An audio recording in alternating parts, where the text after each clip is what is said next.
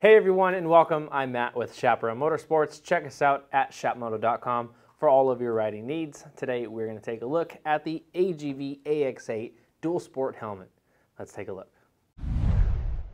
The AGV AX8 is definitely one of my favorite picks in the dual sport helmet category. It's very versatile in its design, it's lightweight and very aggressive looking.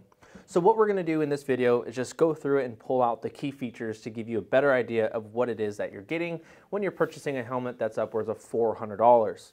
Before we do that, however, Make sure you subscribe to us on YouTube. This will keep you in the loop with the latest products on the market. So let's start off with the outer shell. It is manufactured in three separate sizes to optimize the fit and the weight throughout the size range of small through triple XL.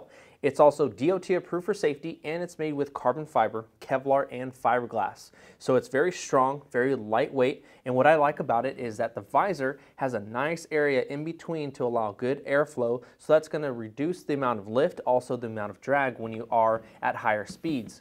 Now you're also going to notice that this visor is detached from the face shield, which is nice and convenient because you don't have to remove both to remove one or the other. However, you do need to use a screwdriver to take them off. So just keep that in mind. It's not a quick release mechanism.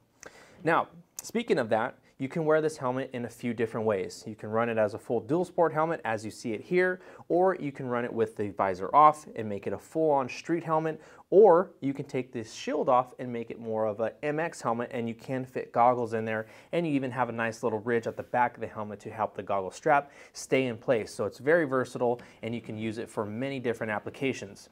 Now, the other thing I like about it is just the ventilation of it. You have a large chin bar vent vents on the side here, and then you're gonna have more toward the brow and two more up top. A lot of good airflow, and then you have that top scoop up there to really drive the air through the helmet. And then you have your Venturi vents in the back to pull that hot air out and keep you nice and cool and comfortable. All right, so let's quickly jump back to the face shield. It is made with polycarbonate, so it is nice and durable. It's optically correct. It's also anti-fog and anti-scratch coated. And I just wanna go back to the base plate. It's nice and small and compact. However, it's not a quick release but it's not a deal breaker. You just need to use the tool when you want to swap the shields. Now, the internal liner, it's very nice and comfortable. It's well padded. It's lined with a Drylex material, so it's moisture wicking. Everything is fully removable and washable, including the straps, which is important for me because when you are dual sporting, you work up more of a sweat, so it's nice to wash those as well. And like I said, it's nice and comfortable. Definitely one of my top picks. So there it is. That is just a very quick look at the AGV AX8 Dual Sport helmet. Again, it's available in multiple colors and it comes in sizes small through triple XL. For more info on this thing, you can visit us at chapmoto.com and don't forget to subscribe to us on YouTube. Thanks for watching. I'm Matt. We'll see you next time.